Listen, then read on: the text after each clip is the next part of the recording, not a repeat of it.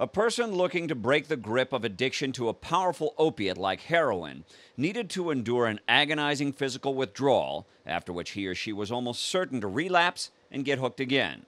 Now, an Israeli doctor promises he can cure an opiate addict pain free and have them off the drug within two days. He says 80% of his 11,000 patients have never relapsed. I'm sorry to tell you, but to treat opiate dependency is much easier than to treat a common cold. No doubt about it. His treatment is all geared toward the physical effect of the drug.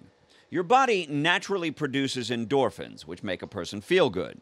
When a drug like heroin is introduced, the body is bombarded with synthetic endorphins and the natural production shuts down. At the same time, the brain develops more endorphin receptors that cry out to be indulged. The addict spirals downward, trying to satisfy an ever increasing physical urge for the drug.